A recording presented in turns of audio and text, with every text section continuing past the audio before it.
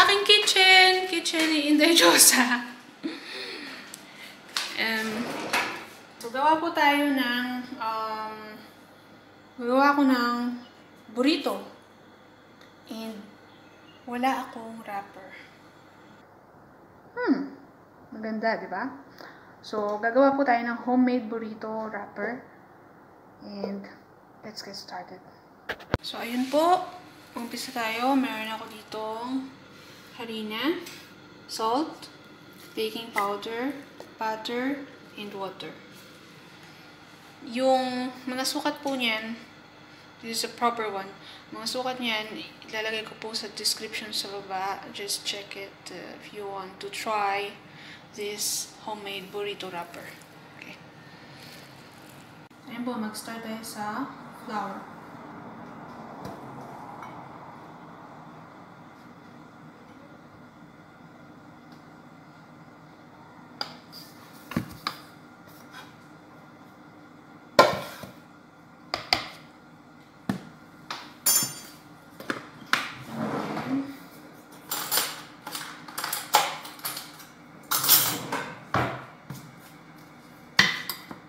Powder.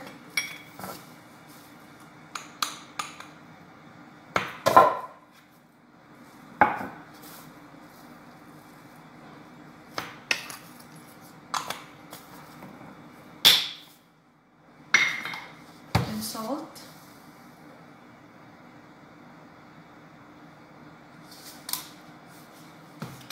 And butter.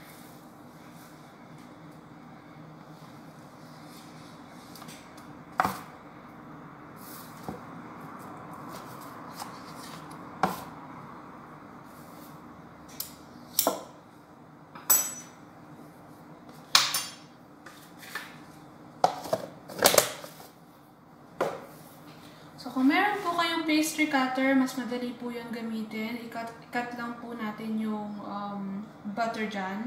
But since wala ako, so I'll use my hands. I'll wash my hands and I'll come back. So, ayan po. Mix lang natin siya. Just make sure you wash your hands. It's okay. Don't touch uh, all the ingredients inside. As long as you are sure you wash your hands. Minsan ginagawa ko to kasama yung alaga ko. Part of being nanny. Kailangan i- um, make it sure na nag enjoy din yung mga alaga mo kasama ka. So yun, sinishare ko tong paggagawa ng mga ganito with the, with the kids. And, tuwan-tuwa naman sila. Kasi, alam mo yun, mga bata parang naglalaro ng yung Play-Doh. so, yun. Kahit na hindi na...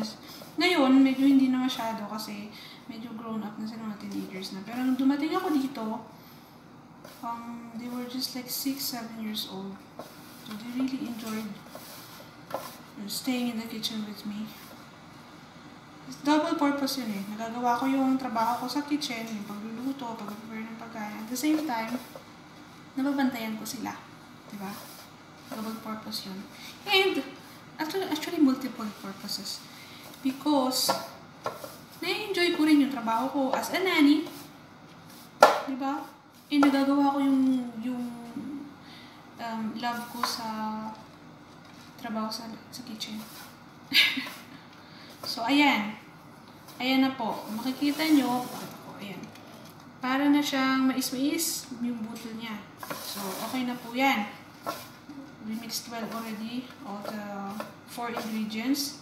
Butter, baking powder, salt, and what else we put? Yeah, that's it. And then now, it's ready to put the liquid in. So, para hindi po mabigla, let's put our water. I'm using cold water by the way. Cold water. Okay? So, para hindi po mabigla yung ating flour mixture, kasi baka maging masyadong soggy, yung masyadong basa. So, one table at a time. One table. One table. one tablespoon at a time. So, yan. Mix, mix. Of course, one tablespoon is not enough. So, another 1 tablespoon. Hanggang sa mabuo na po natin yung dough or dough na, na kailangan natin para sa ating burrito wrapper.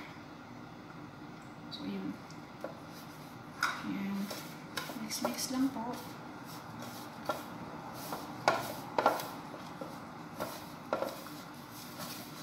Yung sukat po ng ingredients, lalagay ko dyan, as I said, dyan sa description mamaya, sa baba. Pwede nyo pong i-check para matry nyo kung sakasakaling tulad ko rin, wala kayong yung ready to go, ready to go food na uh, burrito wrapper. Meron din akong yung rolls mer meron po yung ano, medyo may difference na siya ng konti. Pero, palagi ko nilagay ko yung video ng um, spring rolls wrapper. Pero, I'm not sure if I put the exact recipe. So, maybe the next few videos, if ever needed, ulitin ko po yon yung proseso na yon para sa spring rolls wrapper. And then, I will put the exact recipe, measurements, so you can also try. It's very easy. It was very easy and fun to do. So, ayan. So, ito na po siya. Hindi mo, hindi mo kailangan ng sobrang daming water. Kasi baka maging sobrang ano, um, basa yung dough, hindi siya magiging dough. This, medyo nagbibiak-biak pa siya, so medyo lagyan ko pa siya ng pag, tandaan po, kung naglalagay tayo ng liquid sa flour mixture, kailangan 1 tablespoon 1 tablespoon at a time para matansya po natin. So, ngayon, kung halimbawa naman, napasobra ka, feeling mo, napasobra yung liquid dun sa flour mixture, it's okay. Magdagdag ka lang ng konting flour. Again, sometimes dagdag bawas is good. Especially when you're in the kitchen. Improve. Improve something because kailangan mong gumawa ng solusyon para hindi masayang yung ingredients na nailagay mo na. Diba? So this one, I will put a little bit of flour. Kasi mukhang napasobra nga siya. Tulad na sinasabi ko. Diba? Ang galing kayo ba? Hindi po ako expert. Hindi ako pro. Mahilig lang talaga akong magkikilos sa kusina. Kaya siguro malapad na ako, di ba? The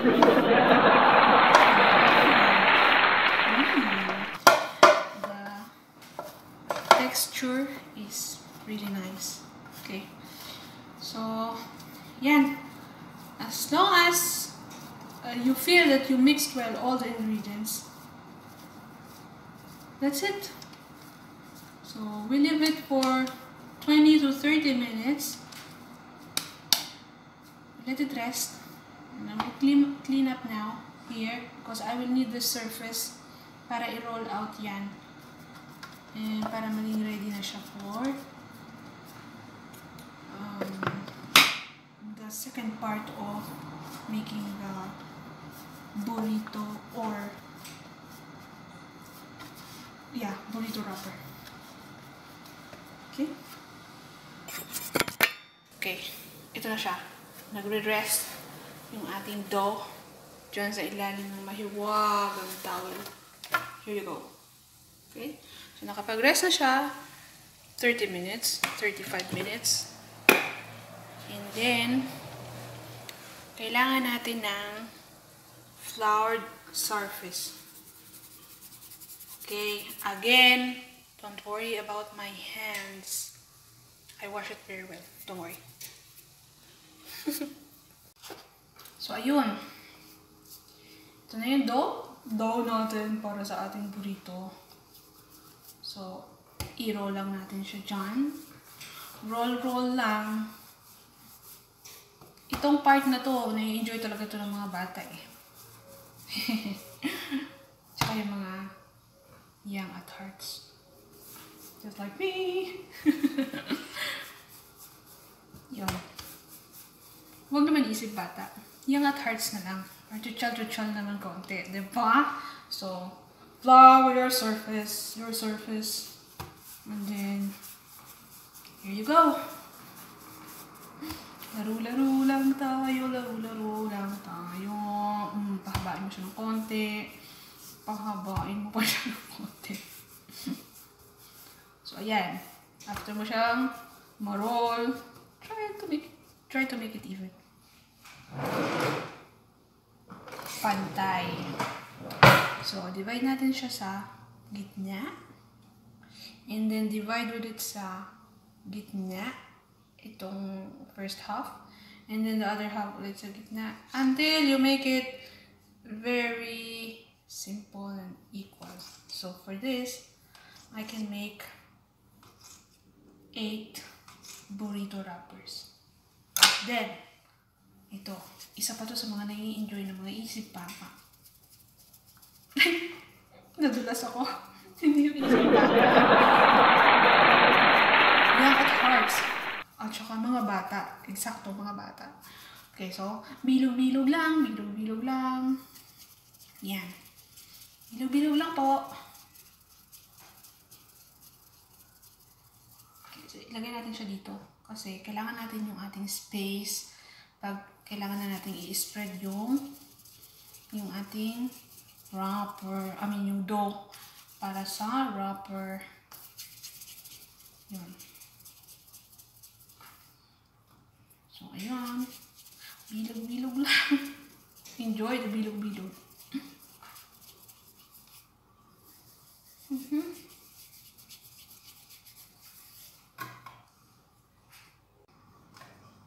Ayun. So, tapos na po tayo magbilog-bilog. Ayan. 8 na bilog-bilog. so, ayan. Floured surface again. Then, mm, just put it there.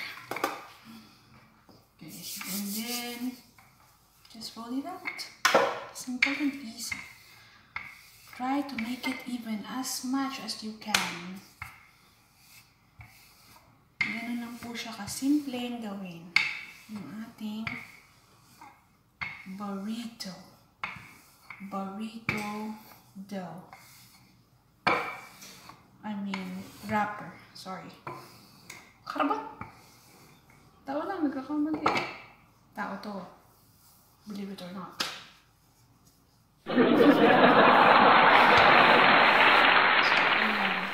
Ganyan lang po siya.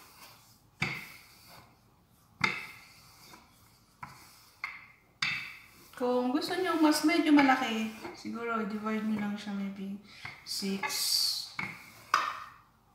6 um, pieces lang ng yung round round na ganun. So, ayan. Mm. Patching. Kasama talaga yun. Just kidding. I'm just trying to make it even. Okay, so ganyan po yung proseso niya. Gagawin ko na po yan lahat and then we'll go next to the next process.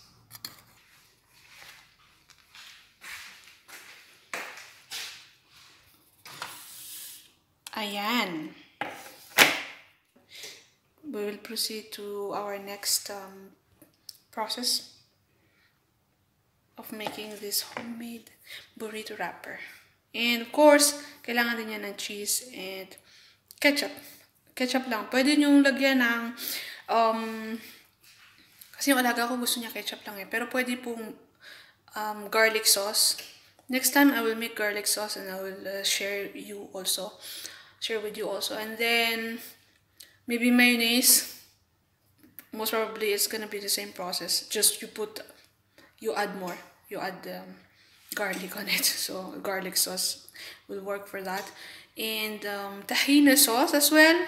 It will it will be nice also, but make it thicker. And of course, those sauce, white sauce, are nice with chicken.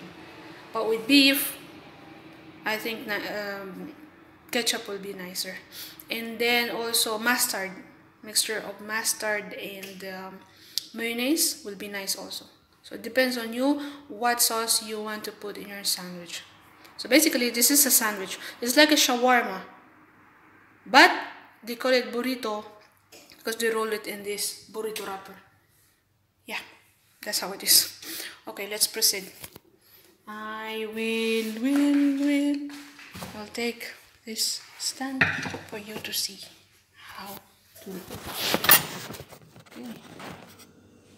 So, simple lang po siya. Mainit na po yung pan natin. As usual, umuusok na naman siya. And ito po ay non-stick pan. Wala po siyang mantika. But if you want to spray a bit of oil, okay lang din. So, yeah. Just put it there. See? And maybe just keep it for a couple of minutes. And then flip. But make sure you're gonna be very careful when you try to flip it because the pan is really hot. And let's flip the first one. Oh, this looks good. But actually, this is small for burrito. So, we're gonna have a size of tortillas in this burrito. Yeah, so, um, kung gusto niyo po mas malaki, of course, lakihan niyo lang yung, ano, yung division ng, ng binilog-bilog natin. Siguro yung total mixture na to ng recipe ko, it'll be nice if you make it four only. It's gonna be, it's gonna be like very big burrito. But for this now, this is nice. I mean, this is the smallest portion that you can make. Okay. Two minutes and we're done.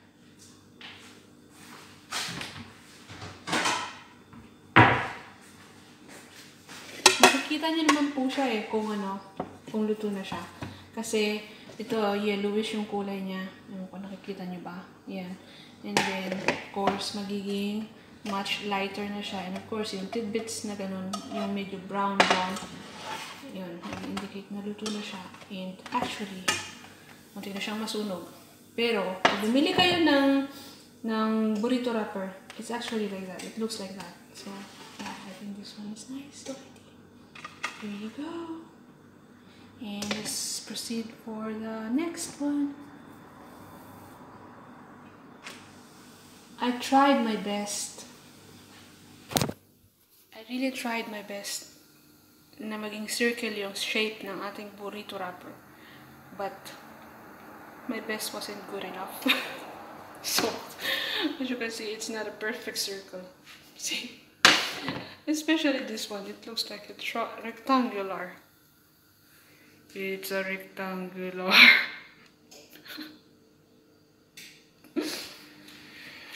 Pero okay na yan. Kasi, yung rectangular na yan, the most special um, burrito na magagawa niyan is based on the lasa! Of course! Yung lasa! Mm. So that's it! I will show you the finished product after this. Of course, because, you know, I need to rush now because you, as you can see, I have a lot to do. Oh my god. Look, as usual, I need to clean up every single corner of the kitchen. Yan ang buhay ni Inday. Okay, thank you po again sa pagtsatsaga. I hope na i-enjoy nyo naman ang bawat video na aking ina-upload.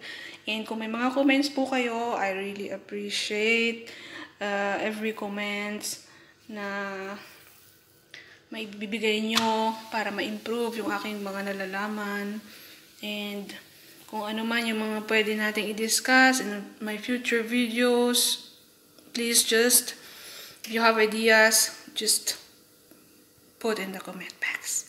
And I'm very, very um, sure na in my future videos we will discuss every single one of that. I hope I can. So that's it for now. And thank you again.